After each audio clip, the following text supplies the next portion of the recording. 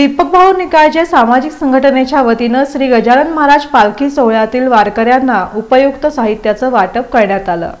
श्री संत गजानन महाराज पालखीचं सोलापुरात आगमन झाल्यानंतर पूर्व मंगळवार पेठ या ठिकाणी दीपक भाऊ निकाळजे सामाजिक संघटनेच्या वतीनं सर्व भक्तांना कपड्याचा साबण तेल पेस्ट ब्रश झेंडूबाम आदी साहित्याचं वाटप.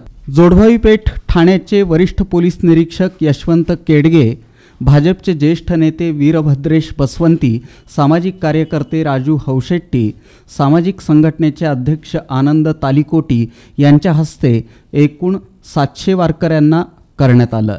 गेल्या सात वर्षांपासून ही सेवा संघटना करत आहे.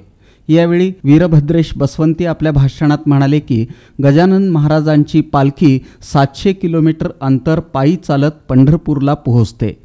अशा वारकऱ्यांची सेवा करण्याची संधी आपल्याला मिळाली हे आपलं भाग्य होय. का- संतश्रेष्ठ गजानन महाराजांच्या पालखीचं आज या ठिकाणी आगमन झालेलं आहे.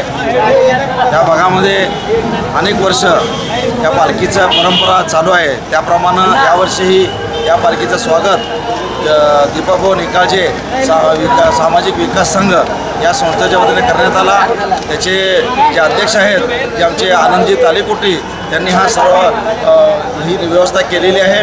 दीपभाऊ सामाजिक संघटनेचे अध्यक्ष आनंद तालेकोटी व आमच्या मित्र परिवाराच्या वतीने आपण त्यांना एक सेवा म्हणून साबण तेल असं आपल्या जोडबाई पेठची चौकीची पी आहे खेडगे साहेब व शिवाय संघटनेचे पश्चिम महाराष्ट्राचे अध्यक्ष वीरभद्र बसवंती बालक यांच्या हस्ते देण्यात अशा सर्व ज्या वस्तू त्यांना विकत घ्यावं लागत होत्या. जेणेकरून स सकाळची सुरुवात ज्या वस्तूंनी होते ती त्यांच्यापाशी नसते.